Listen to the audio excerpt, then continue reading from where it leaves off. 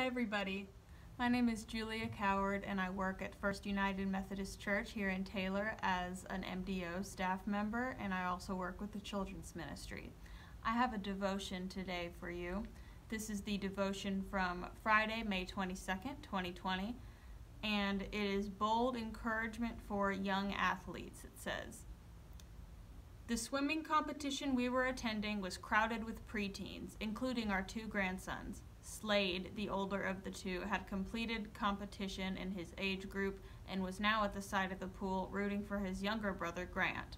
Even over the noise of the crowd, we heard Slade calling, Come on, Grant, keep going, you can make it. As I watched him, I thought, he doesn't care at all about what the crowd thinks of him and his jumping up and down and yelling. He's more concerned that his brother finished the race. When I later thought about the unashamed way my grandson encouraged his brother, I asked myself, Am I as zealous as Slade in my encouragement for my brothers and sisters in Christ? I'm ashamed that the answer is no.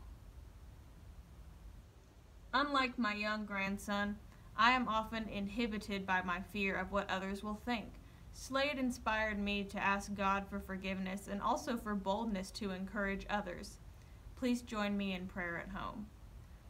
Dear Lord Jesus, help us to reflect your nature and our actions toward others each day. We pray as you taught us, Our Father, who art in heaven, hallowed be thy name, thy kingdom come, thy will be done, on earth as it is in heaven.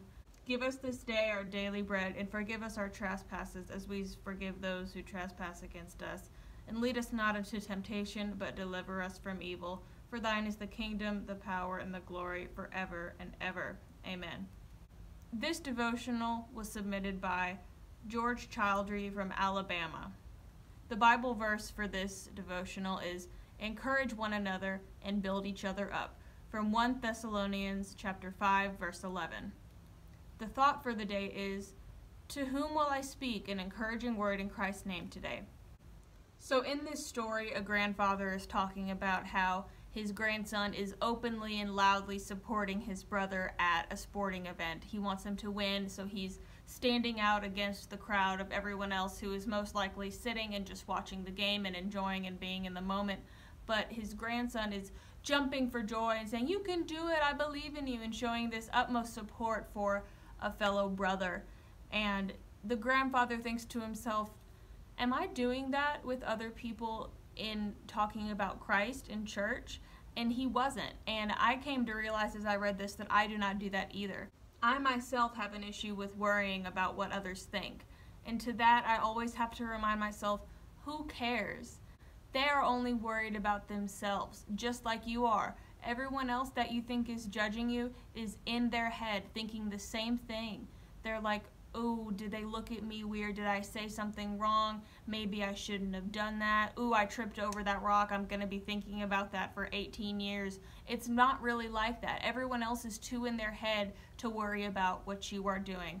So, something I learned from that particular devotional was to just let it go and not worry about what others think of you. If I want to jump up and down and act like a fool just to make somebody laugh or just because I want to, or if I want to stand out in a crowd by wearing something different or saying something that's not popular to think or say, I would say just embrace it and don't worry about what others think of you.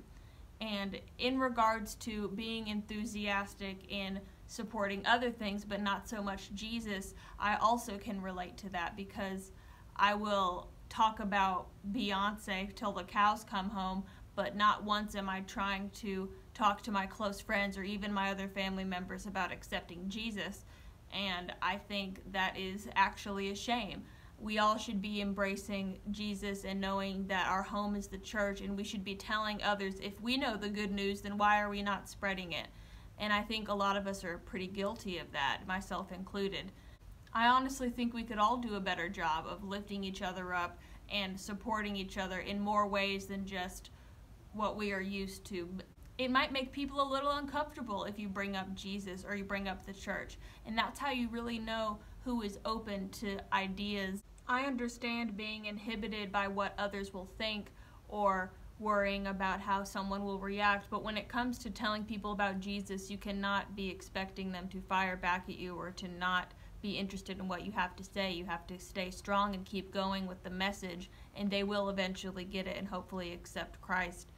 And this devotion is called Bold Encouragement for a reason. It's to give you all and myself, those who ever read it, give them encouragement to speak about other things and to not be so worried about what others are saying about them or could be thinking and not saying. I hope you guys got something out of this devotional. Y'all have a great night. See you next time.